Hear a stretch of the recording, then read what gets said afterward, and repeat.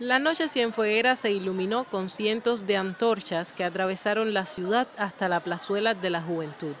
Encabezados por el movimiento juvenil martiano, que en esta ocasión celebra sus 35 años, se rememoró la histórica caminata de la generación del centenario.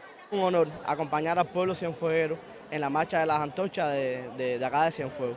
Eh, es un orgullo para nosotros que todos los presidentes del movimiento juvenil martiano puedan estar acompañando hoy este pueblo en la, provincia de Cienfuegos, después de tantos orgullos, después de tantas eh, metas que ha cumplido Cienfuegos, después de tanto que nos ha dado para ganarse esta gran sede por el 35 aniversario del movimiento. Cienfuegos es ejemplo de funcionamiento, de realización de proyectos, es ejemplo de trabajo comunitario y por tal motivo los presidentes provinciales tenían que estar hoy en la provincia de Cienfuegos. Súper importante porque al final esto rememora aquella marcha de las antorchas que iniciaron los jóvenes de la generación del centenario hace 71 años ya y que nosotros somos los encargados de seguirlo recordando cada día más.